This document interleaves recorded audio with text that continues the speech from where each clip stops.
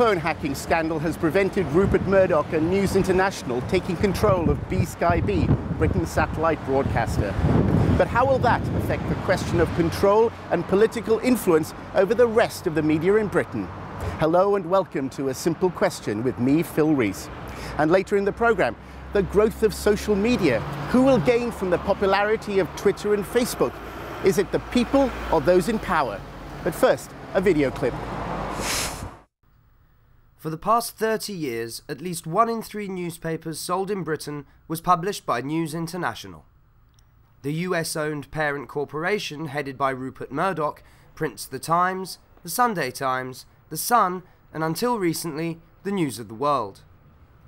Murdoch is a famously hands on proprietor who takes a close interest in his paper's editorial stance.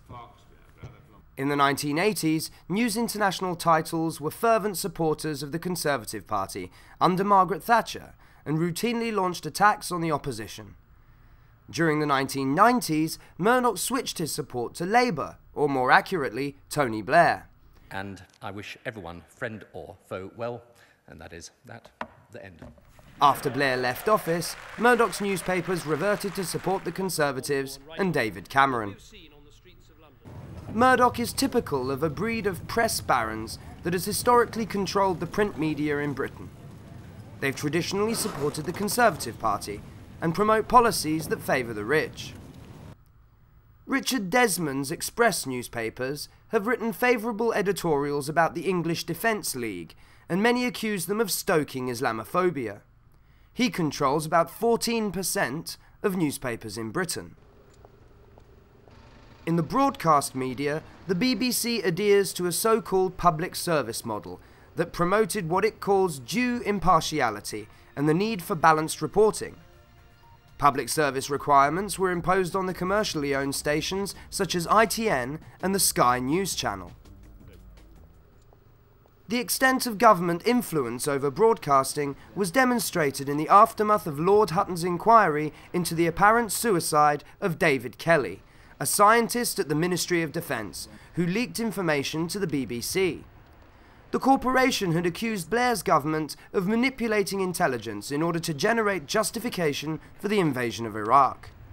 Resignations of BBC management followed in the aftermath.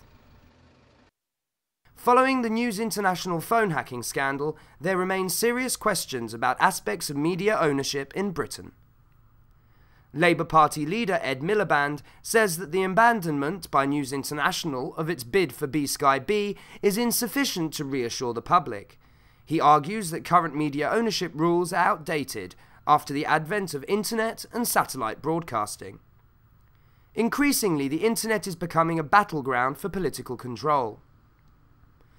While many consider that Facebook and Twitter helped to overthrow aging dictators in the Middle East, WikiLeaks founder Julian Assange argues that these new media have become the most sophisticated spy tools at the disposal of state authorities. A Simple Question is a programme that finds out what the public thinks here on the streets of London. Today I began by asking what people knew about the ownership of the newspapers they read, the television they watch, and the radio they listen to and whether it was a good thing that the newspapers are owned by a small clique of press barons. Who owns it? Well, I suppose one person you could say is Rupert Murdoch. Uh, that's a good start. Mostly Murdoch. And uh, there's several private uh, owners, independent Tory owners, but uh, it's uh, I would say 75% is owned by Murdoch Corporation. Do you know who controls the media in Britain? I think Mr. Murdoch controls a large proportion of it, I believe, uh, including publishing, printing, uh, television, etc. As I recall, uh, quite a lot of magazines as well, um, fashion magazines, etc. I believe, and quite a broad range. Well, as newspapers, I'd say that News International own quite a significant proportion of it. Um, a lot of the news, I mean, Sky News is kind of up there. ITV, Channel 4 has a, a massive voice in the media. Um, but then you've got like advertising companies and, I mean, It's hard to say, really. It's a difficult question. Do you know who owns the media in Britain? Uh, Rupert Murdoch? I mean, I know he owns a lot of it, so probably. I know Rupert Murdoch's got kind of a big hand over everything, um, but I wouldn't like to say really. Oh, I think I like to think the uh, broadcasting organisations own the media in the United Kingdom. That's the way it's uh, always been, and that's the way it should be. It's owned, I imagine, by um, very wealthy businessmen who've accumulated enormous wealth, like uh, Murdoch, like the big um, commercial men in America and in Russia, the oil barons. It's, it's ultimate power, and money buys you ultimate power, really. That's my view. Um, do you know, um, do you think people know who owns the media in, in, in Britain? Uh, I think a large majority of people are aware that it's uh, owned by a monopoly, whether or not who and how complicated it is. But um, I think the public are a lot more aware and a lot more less naive as to maybe what that, that ownership does to people and how it's perceived. Do you think it's a, it's a danger that a few press barons um, control the media in this country?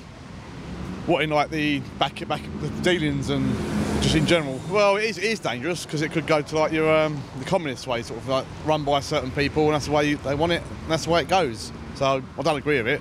Well, do you think they have too much power? They do, definitely, 100 percent. It's it's um, it's almost like uh, you're in their little circle. If you're not in the circle, you're not amongst the gang, as they say. Does it scare me? Sometimes, yeah. I think so, yeah. Does it bother you that a small number of people, including Rupert Murdoch, control much of the media in this country? Yes, and I think it concerns the majority of people too because people know. I mean, everyone picks up a newspaper and everybody says, I don't believe what I read in the newspapers. So, I mean, that sort of sta- stands for itself. Well, I don't think that um, uh, the press barons are um, particularly influential in public opinion. I think uh, most people have got their um, own opinions and are intelligent enough to make up their own minds. Do you think it's a good thing that a cabal of media tycoons owns Britain's newspapers? Yeah, but that's, I think that's not just a problem in the UK. So it's everywhere in America also, I think. So, but I think it's not good for democracy, for, for the viewers and people who consume media. Well, do you think it's good that a small cabal of people actually own Britain's press? Not at all. No, by definition, you're going to have one person dictating um, who gets what information and how. I think the fact that um, whoever, as when Murdoch backed the, the certain paper um, for the certain government campaign in a certain um, political campaign, then they won. I think that that's quite good evidence as to how influential it is. Well, those were the views of the people on the streets of London. Now let's see if our experts agree. Sort of nine companies basically own the newspapers we all read. We've got about 1,200 newspapers in the UK, but uh, 70% of the newspapers we read are actually the 10 uh, daily newspapers and the 10 Sunday newspapers. And so all of the political influence and all the rest of it of those newspapers is owned by nine um, big companies like Guardian Media Group and Daily uh, Mail uh, General Trust. And some of those big uh, companies, and News International is one, uh, own a big chunk of it. They own maybe 35, 37% of it. So the, the you know Rupert Murdoch and a bunch of other big uh, businessmen and their corporate companies they own uh, much of the news media. Now, broadcasting is different because of the BBC. Sort of, you know, a large amount of the news that we watch is owned by the BBC, and um, ITV is a is a commercial co company, and Channel 4 too. They're separate individual companies, so the concentration of TV news is much less.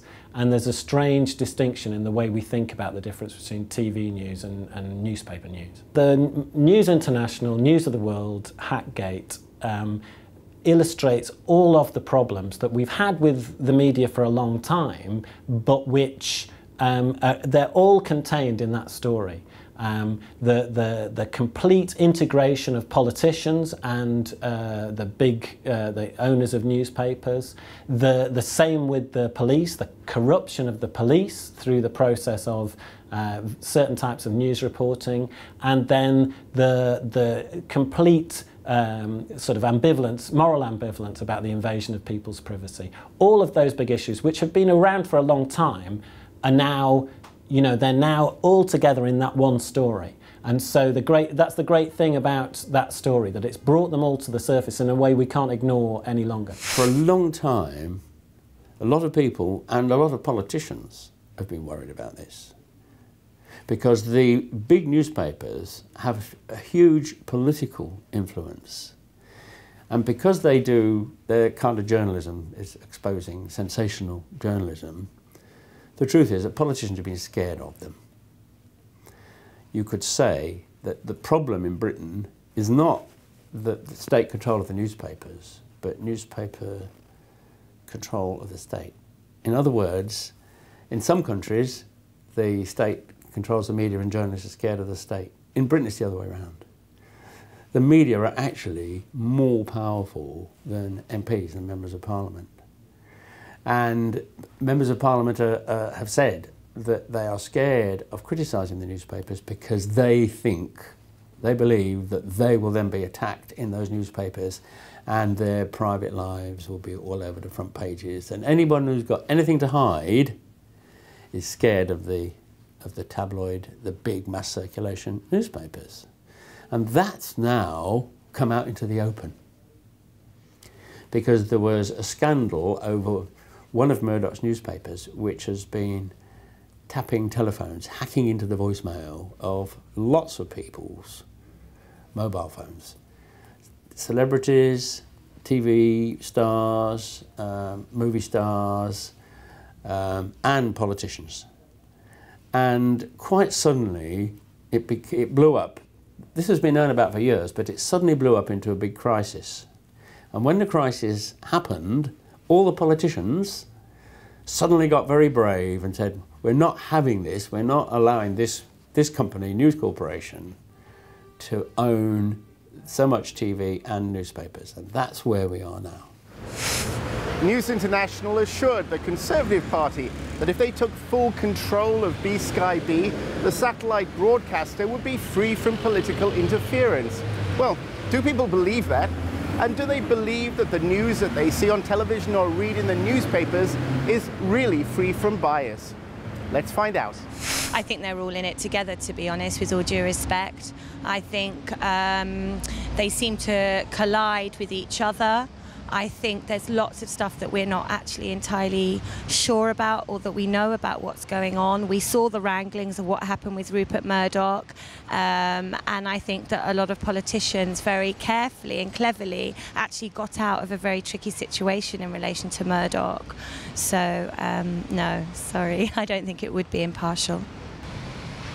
Um, no, not really. I can't see how that can possibly be the case when you know the they've got some sole control of, of the main the, the main media in this country.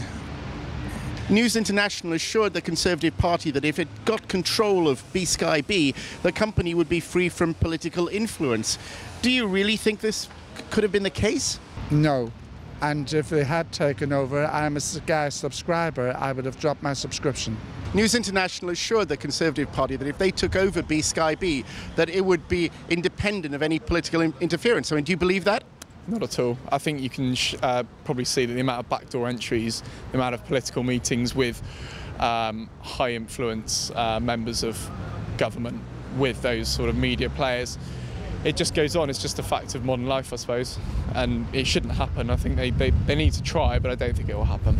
I, I don't think so. I think if you own uh, something, uh, then you will influence it, either directly or indirectly, because you will uh, influence the choice of people who work in that company. Because why else, why own it if you can't influence it? So it has to reflect your views eventually. There's no point otherwise. Sky themselves would not have been politically independent. I think what was happening was, and what's now sort of come to light, is the fact that it looks like the newspapers were practically running the country, and they would make the decisions as to who would stay in or out of power.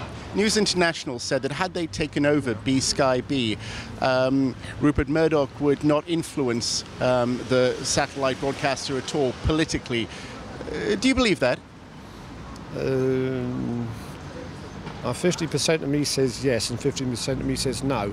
I think under certain circumstances he would have influenced it, particularly if there's sufficient pressure from above, particularly regarding foreign overseas investments, uh, especially if, say, any investments he has in China, somewhere like large foreign governments were leaning on him, I think that he could well have influenced them, yes.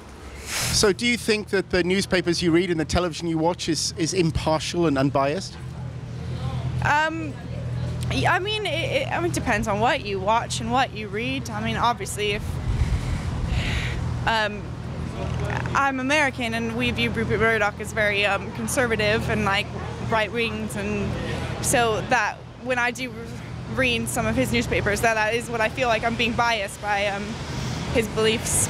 No, I think what you have to do is go across the board and you'll go from the broadsheets to something very straightforward and sort of work yourself on a middle ground and say, right, okay, no smoke without fire. Only some people seem to run with a storyline and blast it over, whereas other people then will sort of hold it back a bit. So you have to you have to weigh it up yourself basically and not believe everything you read in one particular source.